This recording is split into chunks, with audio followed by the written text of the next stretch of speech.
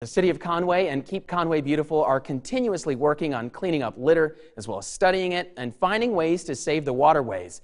With the help from a grant from Palmetto Pride, there's now a water goat in the Crabtree Canal. News 13's Jennifer Blake shares how this effort in Conway could be beneficial for other parts of the Grand Strand. The water goat system is pretty simple, but it has a very important job keeping the waterways clean. It's collecting litter before it gets into the oceans and hurts any animals. It's one more piece to the puzzle. The puzzle of ending litter. The latest piece to cleaning up litter is a water goat.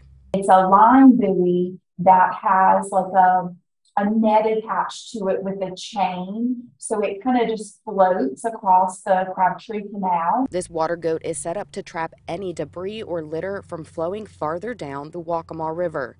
Each water goat is made specifically for its location and can be emptied in about two hours. We'll coordinate between Keep Conway Beautiful volunteers emptying it out um, and city employees emptying it out, um, depending on how often it gets um, full.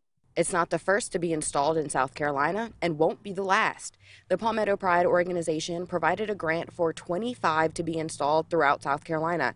Water goat systems already installed have stopped over 300 tons of debris from getting into the ocean, according to the Palmetto Pride website.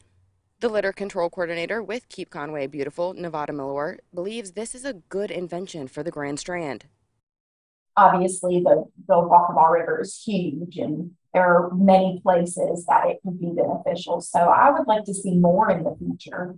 Mellor hopes this brings more attention to the effects of litter. Not only is it going to bring awareness about the types of litter that, that are ending up in the canals and the waterways, but also ultimately how it affects the ocean and how the microplastics are um, an issue in, in our oceans and for our wildlife. Find out how you can keep our area beautiful on our website, WBTW.com. Reporting in Conway, Jennifer Blake, News 13.